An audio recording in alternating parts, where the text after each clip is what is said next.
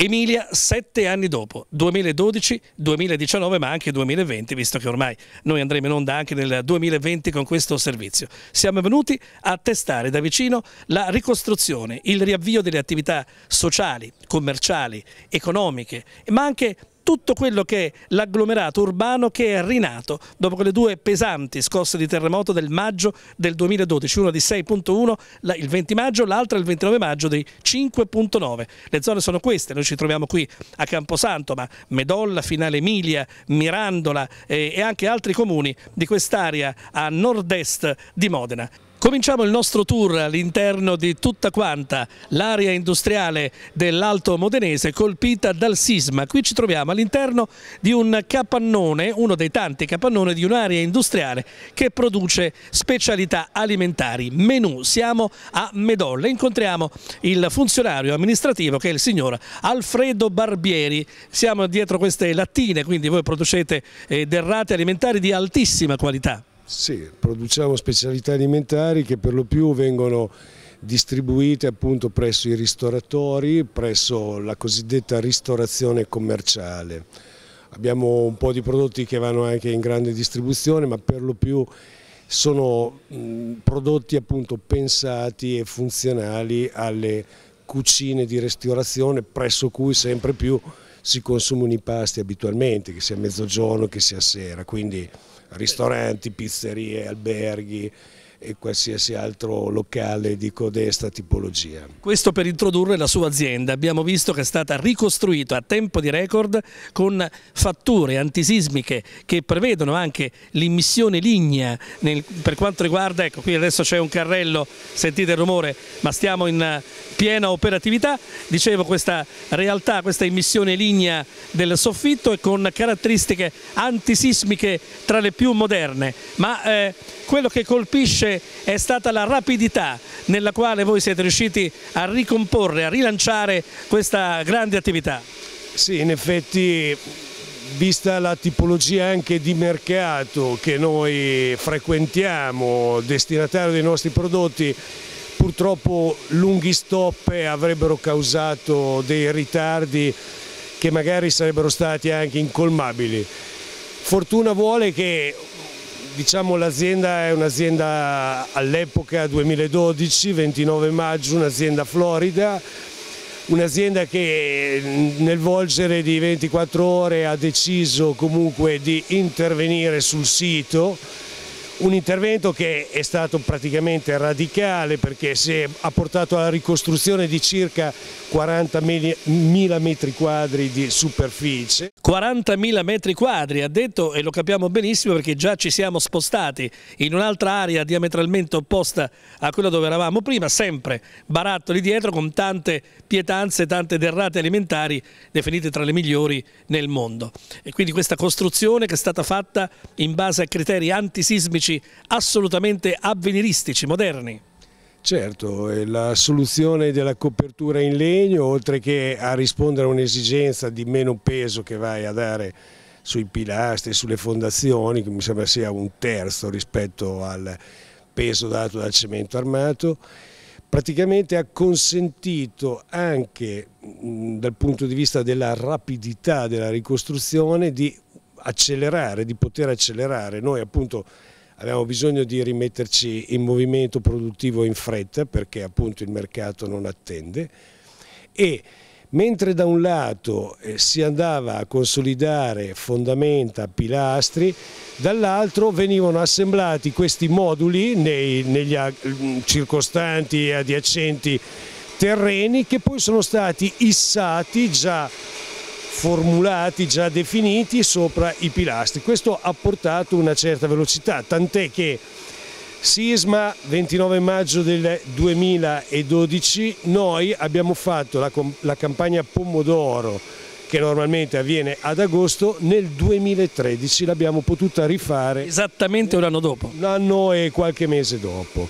Questo è un grande risultato. Sì, in effetti diciamo, c'è stato uno sforzo molto intenso da parte ovviamente della proprietà, da parte delle imprese, da parte degli stessi dipendenti e si è cercato proprio di prodigarci perché si potesse a ripartire al più presto.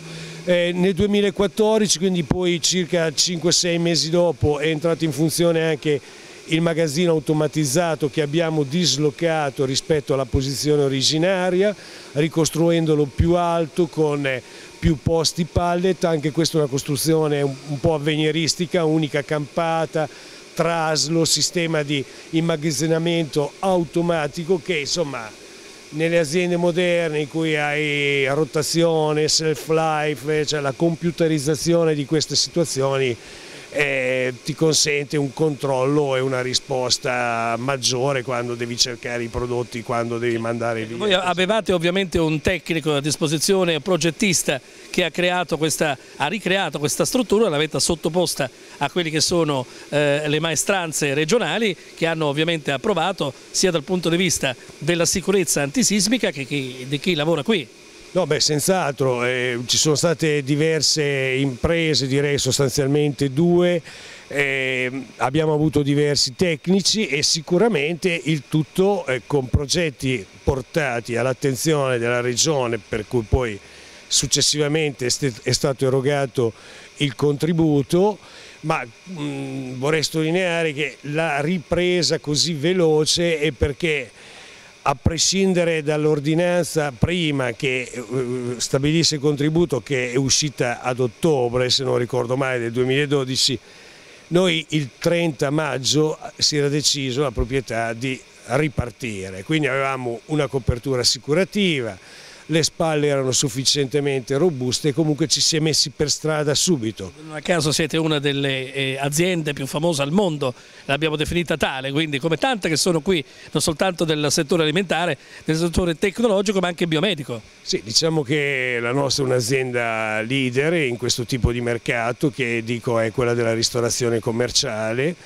e mm, serviamo mm, diciamo in Italia abbiamo una, una presenza direi quasi capillare eh, ma al di fuori dell'Italia andiamo negli Stati Uniti, si va in Giappone, si va in Europa, anche in Europa abbiamo una rete vendita perché noi in Italia vendiamo comunque attraverso oltre 300 agenti di commercio che visitano appunto gli operatori della ristorazione commerciale. Una rete intesa, quanti dipendenti avete voi della Menù? I dipendenti sono più di 250. Poi, non sono neanche tanti eh, rispetto no, a... perché poi c'è una variabilità di stagionali proprio perché facciamo delle lavorazioni, le campagne che sono lavorazioni stagionali ma anche, sì, effettivamente anche perché anche nel settore alimentare eh, diciamo così, la capacità di autom automatizzare il, i macchinari, gli investimenti, gli impianti che in questa azienda insomma, è un aspetto eh, molto importante, prioritario cioè viene perpetuato, per cui sì, non c'è bisogno di una forza lavoro. È chiaro che può trovare aziende dove fai tutto manualmente, che non so, lavorarti i carciofi, hanno bisogno, non so, non a caso ci siamo trasferiti qui perché sentiamo proprio i rumori dei macchinari che fanno scorrere, vedo file di barattoli sì. di metallo di latta che stanno scorrendo. Qua propriamente è un magazzino, come vede, non c'è un'attività produttiva vera e propria che avviene mh, sulla nostra destra. Sono qui... Ci dovevamo mettere in costume lì e quindi abbiamo evitato. Esatto, so, soprattutto sì, anche perché poi sai entrare in fabbrica i nostri tecnici sono sempre particolarmente severi, certo. giustamente certo. severi e quindi norme anticontaminazione qua e là. La televisione è contaminante, anche se fortunatamente divulga almeno la nostra. Noi la ringraziamo molto, signor Barbieri, per la disamina che ci ha fatto sui metodi tecnici, artistici, perché vediamo che è stato rifatto anche sì. con grande piglio architettonico, almeno questo magazzino, ma anche gli altri che non abbiamo filmato, ma che vedremo in esterno adesso facendoci accompagnare dal dottor Penza. La ringraziamo molto. Prima di salutarla però una battuta, lei non a caso è vestito in questo modo perché so che lei è un, un uomo emiliano ma ha questo nel DNA questi cromosomi della Louisiana. Lei è un bluesman, vero?